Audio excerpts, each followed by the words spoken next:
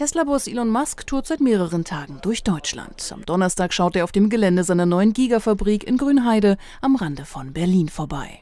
Kurz nach 12 Uhr mittags stieg Musk aus seiner Limousine, natürlich ein Tesla, und stellte sich den Fragen der Journalisten. Der 49-Jährige zeigte sich gut gelaunt und voller Freude darüber, in Deutschland zu sein.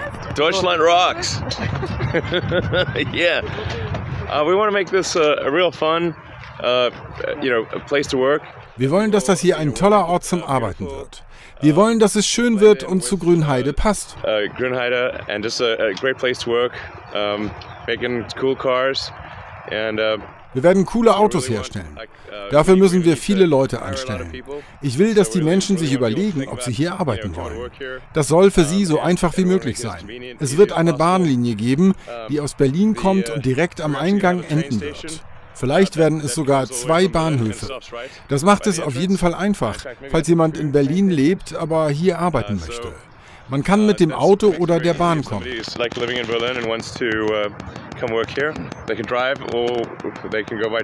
Die neue Tesla-Firma wird hier in Grünheide in Windeseile aus dem Boden gestampft, aus einem guten Grund, so Musk.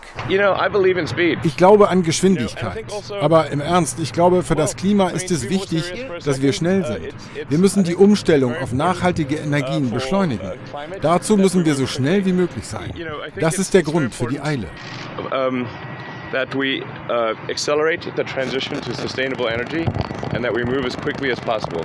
And, and so this is the reason for the sense of urgency. Ein nächster Besuch in Grünheide ist auch schon geplant. Dann kommt Musk vielleicht sogar mit Sohn. Nächstes Mal werde ich ihn vielleicht mitbringen. Ja, wenn ich in ein paar Monaten wiederkomme, bringe ich ihn mit.